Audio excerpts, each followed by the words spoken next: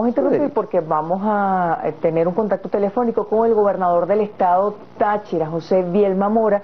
Recordamos que, como lo comentábamos también con la profesora Dina Bastidas, los factores de oposición, también el sector estudiantil opositor, está manifestando, está llamando a manifestar contra el dictamen del Tribunal Supremo de Justicia.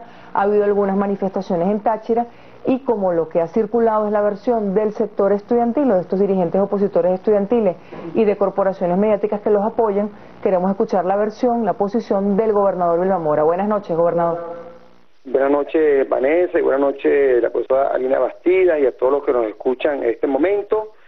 Eh, lamentablemente, un grupo de estudiantes de la UCAT Táchira y la Universidad de los Andes intentaron nuevamente hoy crear zozobra, crear disturbios, entorpecer la buena paz del Táchira y por supuesto ellos acostumbrados a la guarimba, que en vez de estudiar, preparar tesis de grado, programa, están guarimbiando para sabotear en el estado Táchira y por eso crear toda una confusión, un caos el día de hoy aproximadamente a las nueve de la mañana, en forma simultánea, algo muy bien organizado, un grupo de manifestantes de esas universidades se dirigieron a dos puntos eh, céntricos de la ciudad de San Cristóbal, en el barrio, en Pueblo Nuevo, con el objeto de ir creando todo un esquema de desinformación y de disturbios. Cerraron la carrera 14, quemando caucho, destrozando la propiedad privada,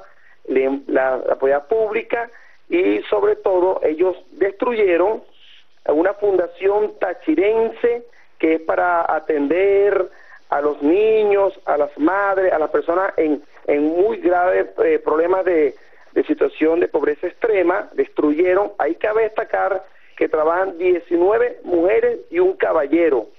A punta de pistola sacaron a las, a las damas y al caballero y diciéndoles que ellos volverían a quemar las instalaciones, gracias a la sana intervención de la Policía del Estado Tachi y de la Guardia Nacional, no llegaron a, llegar a ese acto de gran vandalismo, pero hicieron algo, destruyeron carros, destruyeron todas las instalaciones, acabaron con las computadoras y sobre todo eh, siguieron amenazando con cabillas, tubos metálicos, piedras, destrozaron todas las instalaciones.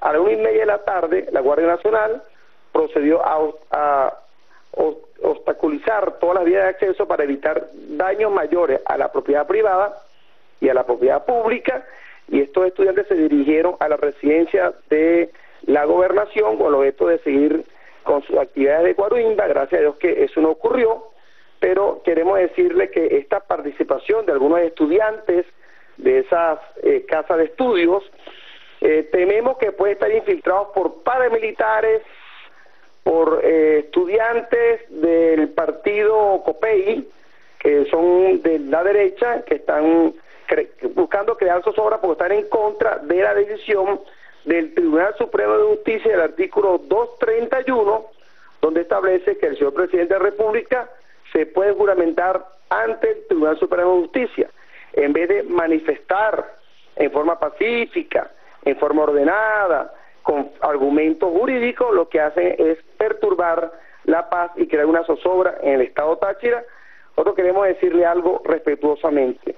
Las autoridades militares y policiales del Estado Táchira quieren manejar todo este procedimiento eh, con respeto a los derechos humanos, sin alterar el orden, pero queremos llamar a la derecha del Estado Táchira, a los profesores universitarios que están intentando eh, levantar con el Centro de Estudiantes de la UCAT y de la ULA manifestaciones que crean zozobra y estamos en contra de la guarimba, pero hay que eh, decirle a toda Venezuela, destrozaron la Fundación Tachirense, que es organismo para ayudar a la gente con menores posibilidades, personas que están en miseria y, y miseria y pobreza crítica, pero algo importante, había 19 mujeres y un caballero. Entonces, esto es la hombría de un, de un grupo de hombres de la Universidad Católica del Táchira y de, la ULA que quieren atentar contra la paz ciudadana del Estado Táchira.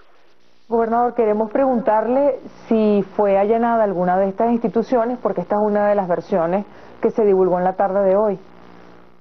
Eh, la Guardia Nacional y nuestra Policía Regional en ningún momento eh, llegó a esas universidades. Ellos, por el contrario, después de haber eh, destruido las instalaciones del gobierno regional, después de haber atacado a la fundación de la familia tachirense y, haber destrozado parte de otra instalación también de beneficencia pública, se dirigieron a sus universidades para resguardarse allí o para preparar guarimba. Quiero decir que estos estudiantes tenían pistolas 9 milímetros. Eso es importante que, la, que lo sepa Venezuela. Eso lo dijeron en las versiones de las damas que fueron aterrorizadas dentro de la fundación de la familia tachirense. También llevaban un vehículo eh, Corolla color verde cargado con eh, mm, pólvora, eh, fuegos artificiales de alto poder, armas contundentes, tubos y palos, y estaban por supuesto todos encapuchados. Eh, gracias a la acción de la Policía Regional y de la Guardia Nacional, no hicieron más estrago en esta guarimba que quieren eh, fomentar en el Estado Táchira, producto de una derecha encarnizada, de ultraderecha, que quieren socavar no solamente la paz, sino también hacer daño a la Feria Internacional de San Sebastián, donde está trabajando el gobierno bolivariano para dar tranquilidad y por supuesto lucidez turística a esta gran feria que es de todos los pachirenses y de Venezuela. ¿Hay estudiantes detenidos, gobernador? Habían unos estudiantes que se estuvieron, pero en, buscando la paz ya se le entregaron a sus familiares estos estudiantes. Actualmente no hay ninguno de, retenido por parte de las autoridades eh, militares y policiales de Estado Táchira. Usted dice que el grupo de estudiantes, al menos el que atacó las instalaciones de esta fundación tachirense, estaba armado. ¿Cuántas armas había? ¿Dónde están esas armas? Eh, esas son las versiones que me da el general de brigada eh, Richard López Vargas, que estaba allí. Hay una foto que tenemos nosotros, eh, que tomamos fotografías para poder hacer la acción pertinente ante la Fiscalía de la República y por supuesto estos hechos de bandas, en bandas guarimberas de la derecha tachirense, hay que empezar a llevar a los tribunales para que estos malos ejemplos de cómo no eh, actuar, hay que eh, ser más contundente, pero en el tema de la legalidad y de la administración de la justicia. Gobernador, ¿se van a permitir las protestas pacíficas? Usted sabe que hay sectores de oposición llamando a protestar contra la sentencia del TCJ. ¿Se van a permitir? Nosotros vamos a permitir eh, la huelga, la protesta cívica, eh, pacífica, el encuentro de foros, talleres y seminarios, pero que no atente contra las personas, las instalaciones físicas, públicas o privadas, contra plaza, contra eh, ningún ciudadano tachirense o turista porque estamos en plena feria de San Sebastián. Eh, mañana hay un gran desfile eh, con las carrozas, con, con la creatividad y la cultura tachirense. El día domingo llega, eh, se hace el circuito ciclístico de la Lotería del Táchira y el circuito del Táchira en Venezuela en la Vuelta al Táchira y no queremos, por supuesto, que, que enturbien esta paz ciudadana que ha sido eh, manejada con mucho criterio y, y, por supuesto con mucha paz en el Estado Táchira. Gobernador, por último, ya nos confirmaba que no fue allanada ninguna institución educativa, al menos en la información que usted tiene. ¿Han sido cuantificados los daños de estos actos que usted califica como vandálicos? Eh, sí, han destruyeron vehículos privados de em, directores, amas de casa que estaban llevando denuncias. Bueno, acabaron, acabaron con un número importante como unos siete carros, pero destruidos totalmente. Ellos, por supuesto, gracias a la Guardia Nacional y a la Policía Regional, no, llevaron, no, cometieron el acto mayor que era quemar las instalaciones, llevaban eh, combustible, llevaban todo, todo un implemento que se le fue eh, retenido antes de cometer esa acción vandálica. Gobernador, muchísimas gracias por este contacto. Gracias. Gracias a ustedes.